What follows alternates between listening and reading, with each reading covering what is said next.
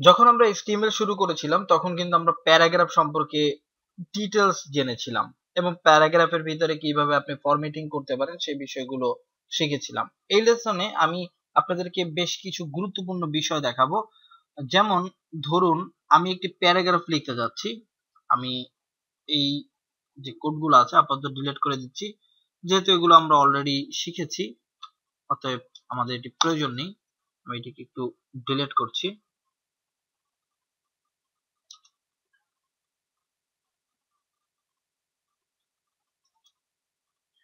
তো আমি যদি একটি পি মানে প্যারাগ্রাফ লিখি এবং প্যারাগ্রাফের শুরু, শেষ এবং এইখানে যদি আমি এভাবে লিখি যে দিস তারপর একটি স্পেস দিয়ে লিখছি ইজ মাই আবার লিখছি ডেমো আমি কিন্তু স্পেস জেনারেট করলাম, ফাইলটিকে যদি সেভ করি এবং ব্রাউজার যদি রিফ্রেশ করি,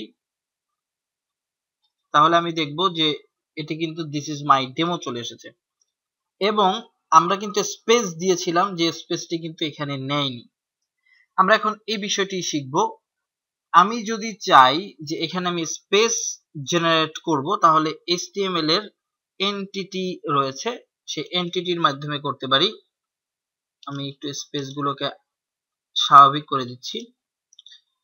তো এটি যদি করতে চাই, তাহলে আমি এখানে এই দিস এর পরে নর্মালি একটি স্পেস থাকবে, সেটি নর্মালি প্যারাগ্রাফেও নেয়।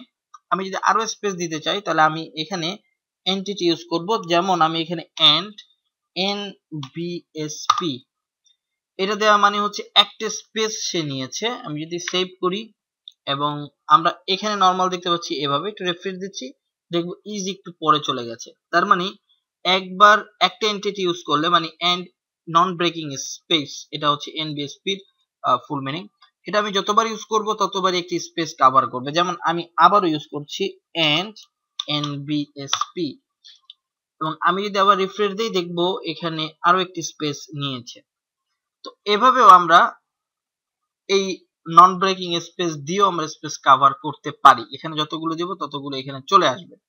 আমি এক্সাম্পল হিসেবে এটাকে কপি করে আমি আরও কয়েকবার এখানে নিচ্ছি। কন্ট্রোল ভি এবং আমি যদি রিফ্রেশ করি তাহলে দেখব অনেকগুলো ব্রেক চলে এসেছে। এ ধরনের HTML এর এন্টিটি অনেকগুলো আছে, আমরা সেগুলো দেখব। তার আগে আরেকটা ট্যাগ দেখব, যে ট্যাগের মাধ্যমে এই এই নন ব্রেকিং স্পেস না দিয়ে আমি একটা প্রি ফরম্যাটেড করতে পারি। যেভাবে আমি আমার এখানে যে লিখব, ঠিক সেভাবেই এটা দেখাবে। এটা করার জন্য আমাকে এখানে আরেকটা ট্যাগ ইউজ করতে হবে, যেটার নাম হচ্ছে প্রি ট্যাগ এবং এর ভিতরে যদি আমি যেভাবে লিখব, আমি যদি এখানে এতগুলো স্পেস দেই এছাড়াও এটার ভিতরে স্পেস দেই এবং সেভ করি রিফ্রেশ দেই, তাহলে দেখব এইভাবে দেখাচ্ছে। একটু চেঞ্জ যেটা হচ্ছে নর্মাল পি হলে এভাবে লেখা দেখাবে মানে এইভাবে আর প্রি ফরম্যাটেড এভাবে আসবে। কিন্তু সুবিধা কি? আমি এভাবে দিতে পারব এবং আমি যদি এর ভিতরে কোনো কবিতাও লিখতে চাই এন্টার প্রেস করে, ঠিক এভাবেও যদি কোনো, আমি কবিতা লিখতে চাই, তাহলে সেটাও সেভাবে আসবে। এই প্রি ফরম্যাটেড ট্যাগের মূল যে বিষয়, সেটি হচ্ছে আমি যেভাবে লিখব, সেভাবে আউটপুট দেখাবে। এখন এনটিটির কথা যখন আসলো, আমি কিছু এনটিটি আপনাদেরকে দেখাচ্ছি। যেমন অনেক সময় আপনারা দেখবেন যে কপিরাইট সেটি আমাদের দেখানোর দরকার, কিন্তু কপিরাইট নেই। আমি এখানে একটি কপিরাইট দেখাতে চাচ্ছি, তাহলে এন্ড কপি সেভ দিলাম এবং কপিরাইট যে সাইনটি আছে, সেই সাইনটি এখানে চলে আসবে। আমরা কোন লেখার উপরে দিয়েছিলাম? এই যে। এভাবে বেশ কিছু এন্টিটি আছে।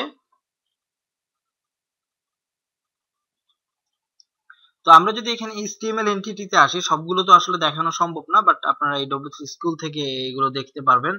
এই এন্টিটি গুলো হচ্ছে যেমন লেস দেন আপনি যদি আমি আগেও একটি লেসনে বলেছিলাম যে আমরা লেস দেন গ্রেটার দেন এটা কোড ব্লকের মাধ্যমে আনতে পারি না তো তখন এই যে লেস দেন যদি দেখাতে চান, তাহলে এন্ড এলটি লিখলে চলে আসবে।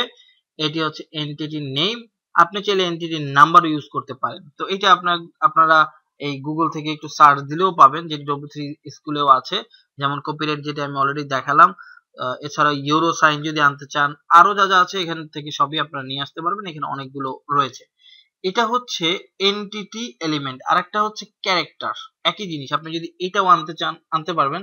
এখানে লেখা আছে কি লিখলে আসবে? First bracket second bracket dot and percentage এগুলো হচ্ছে ক্যারেক্টার এই ক্যারেক্টার যেমন আমি যদি এখন এখানে পার্সেন্টেজ আনতে চাই, তাহলে আমাকে ইউজ করতে হবে এটি। জাস্ট একটু টেস্ট করে আপনাদেরকে দেখাচ্ছি। এখানে যদি আমি এই কপি এর পরে কপিরাইটের পরে আমি যদি এটা আনতে চাই, তাহলে জাস্ট আমাকে এটা লিখতে হবে। এবং এখানে যে পার্সেন্টেজ আমি এভাবেও যদি লিখি যে এন্ড এই যে পার্সেন্টেজ